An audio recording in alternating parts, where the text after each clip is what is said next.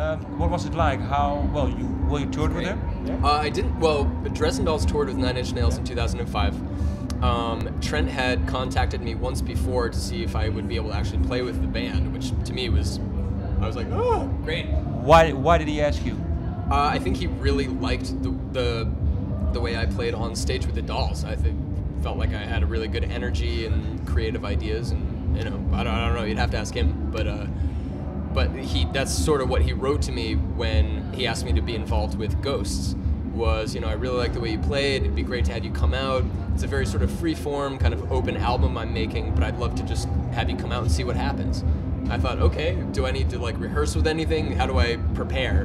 But he didn't want me to you know get ready. He just wanted a very honest you know portrayal of how I played and I like that. I think that's kind of cool. Um, that you get a very authentic sense of how a musician plays when you don't give them a lot of instruction. You just say, "Do this, a little bit of that, go." And for me, the first day out there, he said, "I thought a cool project for the day would be to have you build a drum kit, and then we'll record some improvisations tonight." So he said, go out, you know, with, with our, our friend here and go to the hardware store, get stuff from around my house, whatever you want to do. And, you know, this evening we'll just record whatever we get. And so I built up this crazy drum kit out of like pots and pans and buckets and tin and all kinds of crazy stuff. And um, they literally handed me the headphones and said, We're just going to give you a tempo, play whatever comes into your head. Go ahead. And I was like, Okay. And there you are on the spot. I had no context for whatever the background music was. I just played kind of what I felt.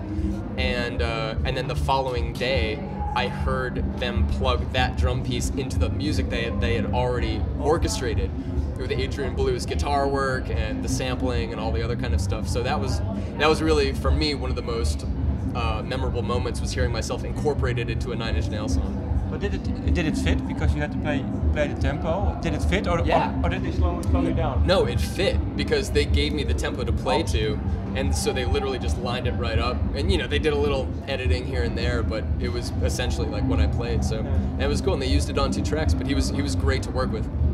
It's for you. Are you well uh, writing your own songs now too, or?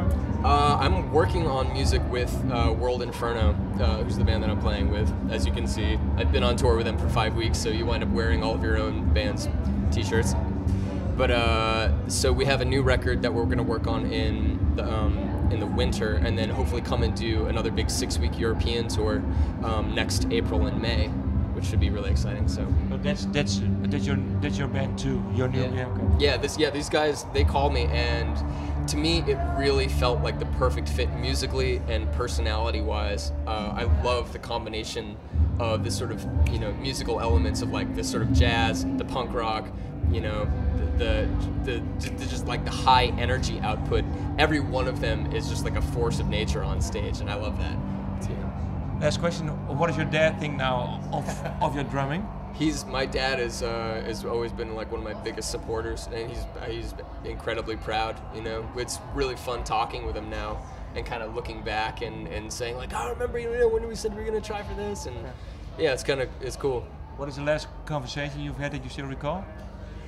The last about music and drumming, uh, he sends me links all the time to different drummers. Uh, he'll send me, uh, you know, YouTube clips on how John Bonham tuned his drums, or you know, clips of the Young Rascals playing "Good Lovin'" and and things like that. And so we, he still, even now, is like sending me uh, and trying to inspire me with drummers that he loves and things like that. So I don't know, just all kinds of things.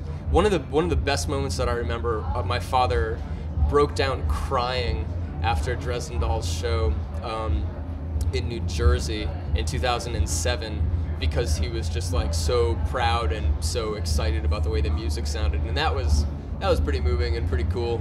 See the old man kind of break down and be like, and not just be like, I'm so proud of you, but he was like, fuck yeah! Like I was like, yeah, dad! Like he was feeling it. So that made that made me feel good.